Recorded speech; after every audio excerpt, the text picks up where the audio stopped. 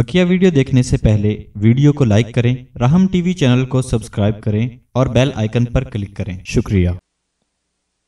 हज़रत जी, अस्सलाम वालेकुम वरहमतुल्लाहि हाफिज मोहम्मद हनीफ मुनीरी इंडिया से बात कर रहा हूँ आपका मुरीद। मुझे और मेरी अहलिया को दुआए काब के बारे में इजाज़त दे दीजिए। और हज़रत जी, जिस औरत के दुनिया में बच्चा पैदा नहीं होगा, अल्लाह ताला उसे आखरत में क्या देंगे? अस्सलाम वालेकुम वरहमतुल्लाहि वबरकातुहू कौन सी दुआ? कुछ मेरे ख्याल का दुआ काब? अच्छा।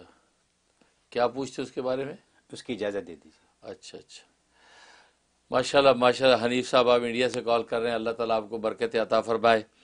तो पहली बात हुई कि आपने जिस दुआ के बारे में पूछा है वो समझ में नहीं है दुआ काब दुआ काब का आपने या क्या कहा लेकिन बहरल जो भी दुआ मसनून है ये इन मैं दिल से इजाज़त देता हूँ। आप उसको पढ़ें और दुआ करता हूँ, अल्लाह तबारक वाल उसकी बरक़ात और समरात आपको अता फरमा दे। और बाकी जो सवाल किया कि जिस औरत को दुनिया में अल्लाह तबारक वाल बच्चा नहीं देंगे तो आखिरत में क्या देंगे? ज़ाहिर है कि दुनिया के अंदर उनको एक नेमत नहीं मिली, उसका बदला आखिरत के अंदर इन नसीब होगा। क्योंकि दुनिया में हर औरत को बच्चा देना, ये कोई फ़र्ज़ या वाजिब नहीं है, या उसको औलाद होना फ़र्ज़ या वाजिब नहीं है।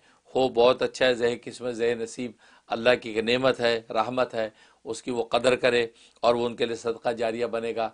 लेकिन अगर किसी का औलाद नहीं हुई तो उनको भी दिल बुझाने की ज़रूरत नहीं, क्योंकि औलादों की बुनियाद पर तो आखिरत में कोई क़ुरब और बख्शिश नहीं है। वो तो आपके अपने आमाद और ईमान और तकवे पर है। अपने ईमान ईमान तकवा और अमाल को मज़बूत रखें। इंशा उसी बुनियाद पर आखिर में फ़ैसले होंगे।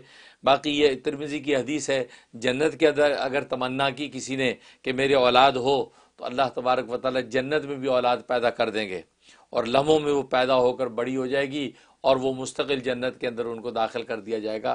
तो ये इस तरह के अहवाल जो होते हैं, लेकिन दुनिया में अगर औलाद नहीं है तो अल्लाह उसके बदले में कोई और नमत और रहमत दुनिया और आखरत में अता कर देंगे। बहुत शुक्रिया।